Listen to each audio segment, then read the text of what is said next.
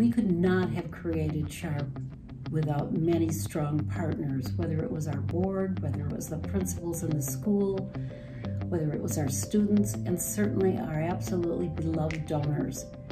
Uh, we were a team. Nobody does this by themselves. We work together.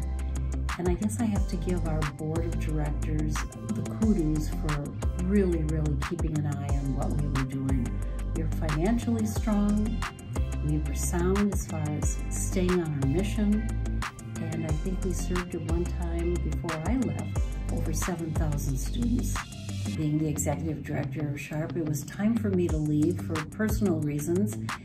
And along with a headhunter and a terrific board, we found our next uh, president of Sharp Literacy, Lynda Kohler, who could not be doing a better job. I'm so proud of her. And here we are at our 25th anniversary, and I have to salute the new team here at Sharp Literacy.